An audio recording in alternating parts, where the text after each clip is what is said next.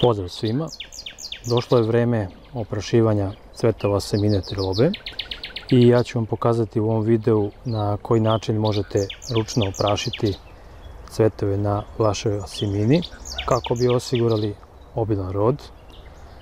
Ovako izgledaju moja tri stabla semine u cvatu i cvetovi kod asimine ne otvaraju se sve u isto vreme kao kod drugog voća, nego svaki dan se otvara po nekoliko novih cvetova i cvetanje traje više od 10 dana. Prvu stvar koju trebate znati da biste mogli uspešno oprašivati cveteve asimine jeste da prepoznajete faze cvetova. Svaki cvet asimine je savršen, to jest posjeduje i tučak i prašnike, ali cvet ima dve faze. U prvoj fazi cvetanja cvet je ženski i tučak je tada spreman za primanje polena, međutim na istom cvetu prašnici su još uvek zeleni i polen nije spreman za oprašivanje.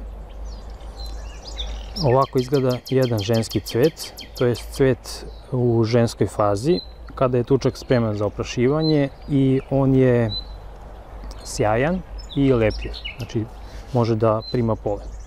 A ovako izgleda muški cvet, to je cvet u muškoj fazi cveta, e, kada je na prašnicima polen sazreo i spreman za oprašivanje. Asiminu tirlobu ne oprašuju pčele i da bismo imali rod na sadnici asimine, potrebno je da posjedujemo neku od samooplodnih sorti, od kojih, koliko je meni poznato, postoje samo tri sorte, ili da imamo najmanje dve do tri sadnice asimine uzgojene iz semena i da vršimo unokrasno oprašivanje asimina. Asimina je najčešće inkompatibilna sa svojim polenom i za uspešno oprašivanje nam treba polen sa cveta uzet sa drugog drveta.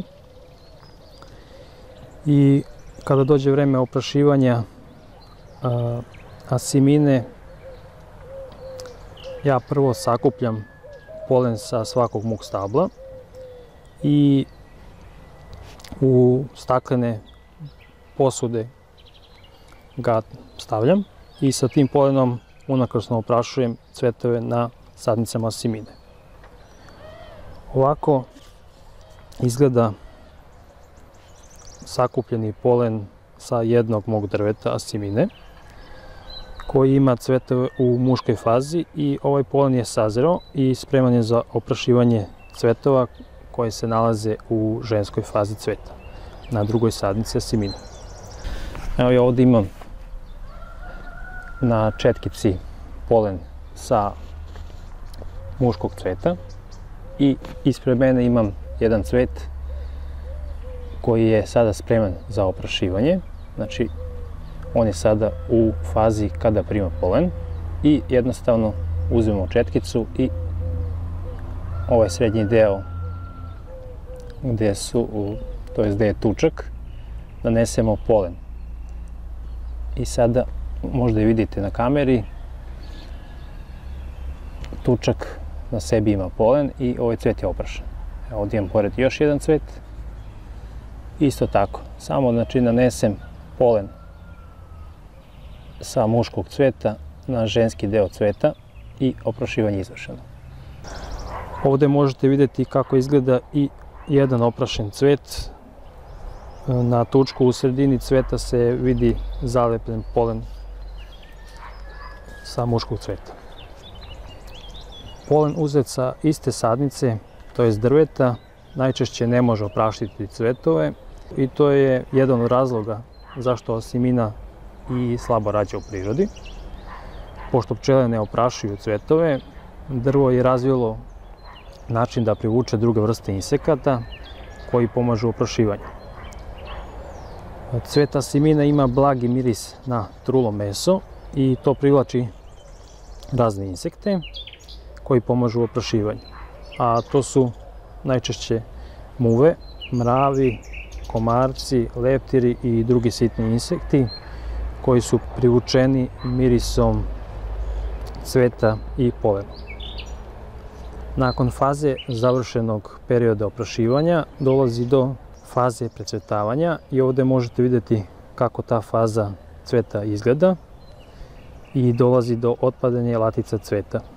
U srednjem delu cveta gde se nalazi tučak možemo videti mali plodić i taj plod još uvijek može otpasti, to je ceo cvet i ova faza ne mora značiti da je i oprašivanje bilo uspešno.